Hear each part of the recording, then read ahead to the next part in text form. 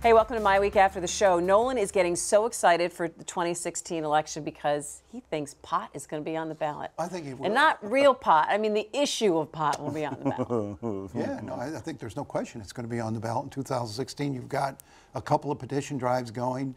Uh, if it follows the pattern of other states, you won't have any trouble getting the signatures. And I believe it gets on the ballot, it passes. I can't see it Oh, not I think it'll pass. Yeah, I think it'll pass, and, and it's unfortunate that it'll pass. I, this is, I actually don't have a, a big problem with decriminalizing um, uh, marijuana. I think there's a there's a lot of research that shows that the war on drugs doesn't work and causes all kinds of other problems. I, I object to doing it through a referendum, though, uh, because there's a lot of infrastructure, legal infrastructure, that needs to be built before you do that. How are you going to deal with uh, uh, things like uh, intoxication uh, issues around driving or operating heavy equipment or being on the job if you're a public official. Um, we don't know how to test for, for marijuana use the way we can And for alcohol, maybe for we instance. shouldn't be, and maybe we shouldn't be testing for either one of them. Maybe we should be uh, making those kind of decisions based on behavior uh, rather than a blood alcohol con- uh, level. Because right now we got a 0.08 blood alcohol that. level, and I, I'm, my contention is that the effect is different individual to individual. By, and so I think we should be prosecuting behavior, not arbitrary blood levels. But you get back to the I don't I agree decriminalization that, level. I don't think the the Because that's so don't think- subjective. Yeah, I mean, well, one super person thinks that, that well, let he's not, he's kind of decide. high. He's not Exactly. that high. We should have him You use be- heavy machinery. You should be punished for what you're doing. No. If you're driving bad, there no, should no, be. no. Yeah. Hey, there are people who are Driving driving bad who are stone cold sober. And I there's mean, also I mean, people who are who are, are sober and capable of driving who will blow more than a .08. But back to the issue of marijuana, you say decriminalization. Right. Legalization, I think, is the issue. You don't want to make the same mistake this time as we did with medical marijuana, where we say the use, we're going to legalize the use, but we kept sort of the trappings, the criminal trappings uh, f- f- from when it was illegal. But you can't you can't do that as a state. I mean, this is still You've gotta reconcile This is still a, come f- along. a, a drug that the federal government considers absolutely off limits uh, under any circumstances, and so.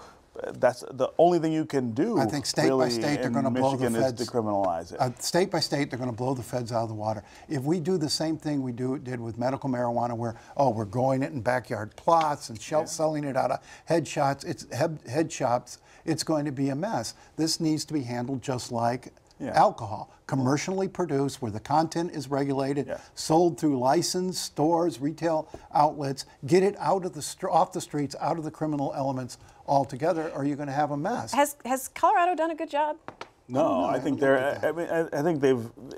They're a good example of rushing into this without having Kinda making it up thought go through along. what it would what it would what it would look like. One of the problems that they're having out there is that uh, uh, the sales are not just for smokable uh, marijuana, but but ingestible. You know, uh, you can buy pot brownies.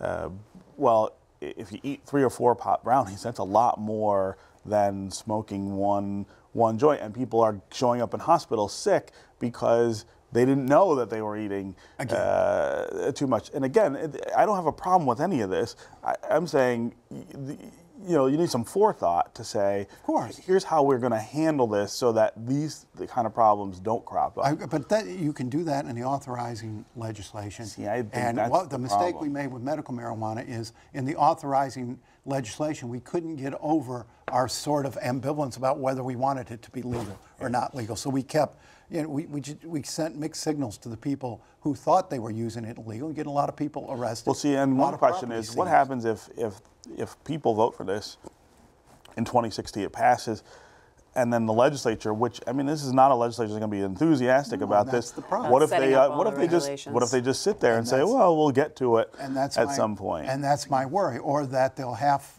halfway ride it and and make a mess of it. I think they got to get once the people say we want this to be legal, they've got to implement it in a way that the content can be controlled, so you don't have the situation uh, you're talking about, and that it's sold through a licensed network of dealers rather well, they're than doing that in you know, Colorado. Out of your not the house. streets. I mean, absolutely. they have stores uh, full of uh, different you know, brands and, and things like that. That part's working, and, and the, the money part is working for the state. I mean, uh, they're in a, a position now where they have to pass legislation to be able to keep uh, the money that they're getting off taxes because it exceeds what legally government can uh, can take in in terms of an increase uh, year over year. So it, it's a boon uh, to, to the state coffers.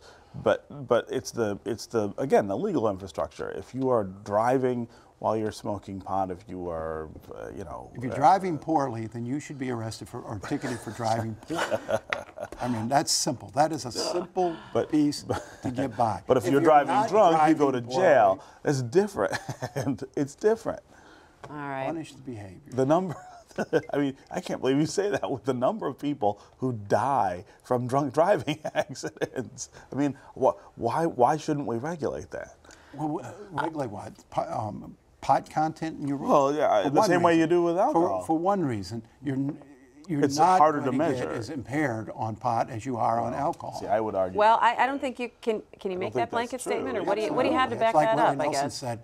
He said, "No- "No point smoking." Wait, are we quoting Willie Nelson in a pot debate? There's no point uh, sm- a smoking different- more dope once you're already high because you don't get any higher, you just get lower on dope. And Wow, that seems to be a really appropriate place to wrap up wrap up the web, web segment. And I, I bet you that'll be the uh, campaign. I can't wait to see the campaign for uh, for that for uh, 2016. then. It'll be interesting to see who's funding for it against.